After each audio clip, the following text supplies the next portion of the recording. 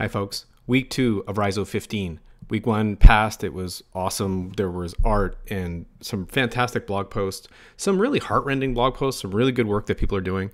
Some people who are riding the wave and saying, Give me more, give me more. And other people are holding their heads going, Where's the structure?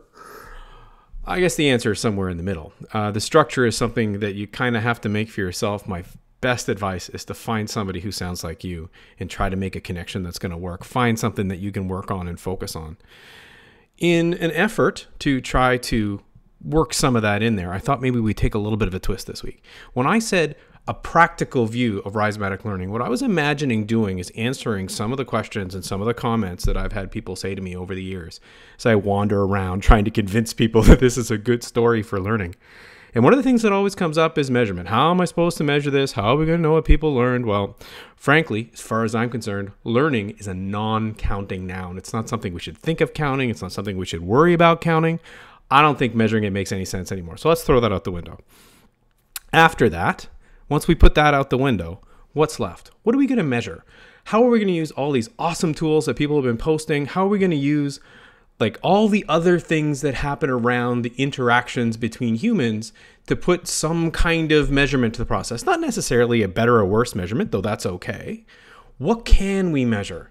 Let's put our minds out there and see if, as a collective, we can't come up with some way of talking about using all these numbers and countings to come up with something really cool. So that's the challenge for this week.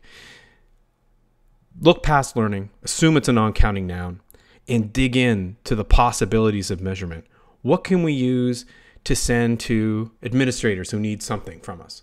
What can we use to feed back to students across a thousand, across a million people that's actually useful to them, that actually tells them something worthwhile?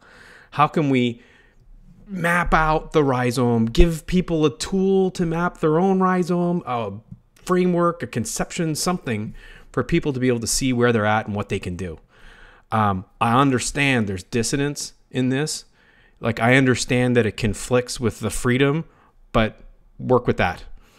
Um, I hope we have another great week. I'll see you all on the internet. Cheers.